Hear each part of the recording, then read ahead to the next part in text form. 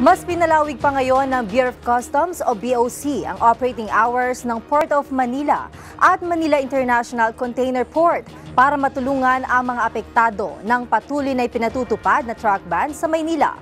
Ayon kay Customs Commissioner John Sevilla, simula kahapon hanggang ngayong araw, dalawang pantalan na ang nasa operasyon kung saan mula ng alas 8 ng umaga hanggang alas 9 ng gabi. Kapag Sabado naman ay magsisimula ang operasyon mula alas 9 ng umaga hanggang alas 5 ng hapon. Magugunitang nitong nakaraan lamang nang bumagsak ang kita ng dalawang pinakamalaking collection district ng ahensya, bunsod ng ipinatupad na truck ban sa nasabing lungsod. Samantala, bukod dito, pinag-aaralan na rin sa ngayon ng nasabing ahensya kung mag-ooperate ang dalawang pier sa araw ng linggo, March 2, depende kung marami pang container na kailangang may release.